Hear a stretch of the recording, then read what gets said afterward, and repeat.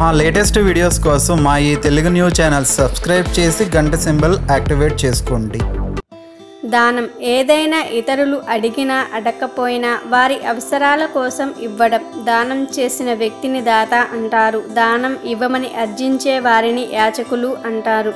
కొన్ని వస్తువులను దానం చేయవచ్చు. కొన్ని వస్తువులను దానం చేస్తే లక్ష్మీదేవిని ఇంట్లో నుండి గెంటినట్లే.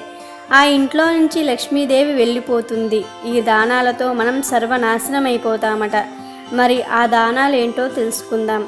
మానవ జీవితానికి సార్థకత సాటి మానవుడు కష్టాలలో ఉంటే ఆదుకోవాలని మనకు ఉన్నంతలో సాటి వారికి దానం చేయాలని అప్పుడే ఇహపర లోకాలలో శాంతి సంతోషాలు లభిస్తాయని చిన్నప్పటి నుంచి మన పెద్దవారు చెప్తూనే ఉంటారు. కానీ కొన్ని వస్తువులను మాత్రం దానం చేస్తే నాశనం అయిపోతారని చెప్తున్నారు. అవి ఏమిటంటే సూదులు కత్తెరలు కత్తులు. ఈ వస్తువులను దానం చేస్తే కోరి సంసారంలో నిప్పులు పోసుకున్నట్లే అట భార్యాభర్తల మధ్య విభేదాలు వస్తాయని జీవితంలో ఏదీ కలిసి రాదంటున్నారు.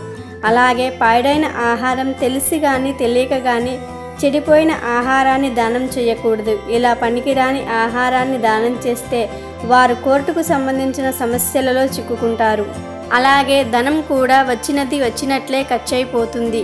దరిద్రులుగా మిగిలిపోతారు. అలాగే చిరిగిన దుస్తువులను పాడైన ఫర్నిచరును విరిగిన బల్లలను కుర్చీలను దానం చేయకూడదు. ఆ పాడైన వస్తువు మనకు ఉపయోగం లేనప్పుడు వారికి మాత్రం ఎలా ఉపయోగపడుతుంది చెప్పండి?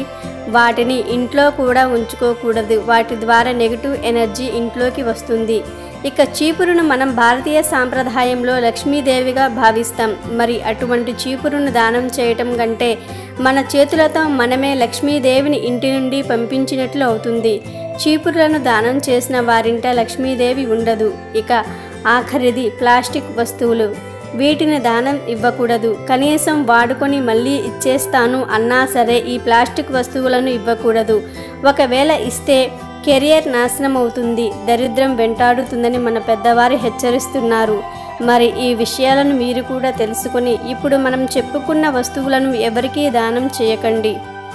ఈ వీడియో నచ్చితే లైక్ చేయండి షేర్ చేయండి. బట్ సబ్స్క్రైబ్ చేసుకోవడం మర్చిపోవద్దు.